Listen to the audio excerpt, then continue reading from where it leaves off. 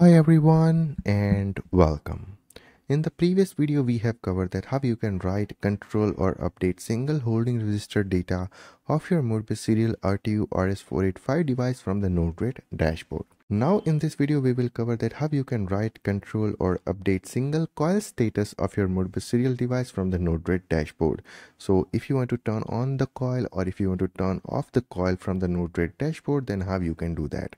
So here is my Modbus serial simulated device using this OpenModSim software and you can see this device is running on the COM1 port with 9600 baud rate, data bits 8, parity none and the stop bit 1 so we are going to use the Node-RED to control the device and then we are going to control the coil status of this device from the Node-RED dashboard. So let's see how you can do that. So first of all i'm going to take a switch to control the status or to send the status like true or, or false. And then after we are going to use the modbus write node okay? And i'm going to connect these two things now we are going to put this switch in the default group okay? And uh, this switch is for coil 0 to control the coil 0 so i'm going to rename it as a coil 0 okay? And we are going to send true or false payload as we are going to turn on the coil or turn off the coil from the node-red dashboard that's why. Okay so that's all about this switch node. So this is how you have to configure the switch node. That's it. You can press on done now we have to configure the Modbus write node to write on exactly first coil okay? Or to control the first coil. So you have to double click here and we are going to control the coil 0 that's why I have used coil 0 here. The unit ID is 1 as you can see here unit ID is 1 and we are going to control only one coil at a time. So that's why we have to select the function code 5 force single coil okay? So we are going to force or we are going to control or we are going to update only single coil at the time and its very first coil. So that's why we have to select the function code 5 here. And the address i'm going to put 0 because we are going to control very first coil. Okay? Now we have to set up where we are going to uh, control the coil or you can say on which device we are going to control the coil. So we have to add our server connection or you can say the slave connection here. So in this case node-red will act as a modbus client or you can say modbus master. Okay so i'm going to click on this pencil to add the configuration.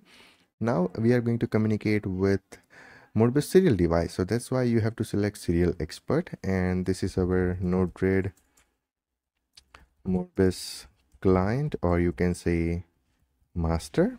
Okay in the serial port i'm going to select com2 because com1 and com2 is internally connected. So whatever data is available on the com1 the same data will be available on the com2 and the vice versa.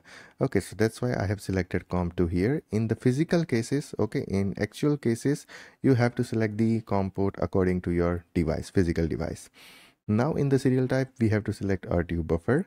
The baud rate should be matched this one. Okay 9600 data bits 8 you can see here parity none and the stop bit 1 okay so this is how you have to configure this uh, uh, modbus client node.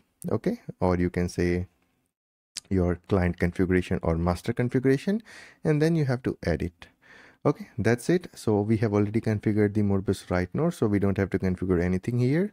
We can just press on done and we can deploy it okay and i can go to node-red dashboard and here you can see coil 0 right now the coil 0 status is 0 i can turn on from here you can see it's 1 i can turn off from here you can see it's 0 okay now the same way if i want to control the second coil then what i can do is i can copy this okay? And instead of coil 0 if you want to control the coil 1 then i can rename it.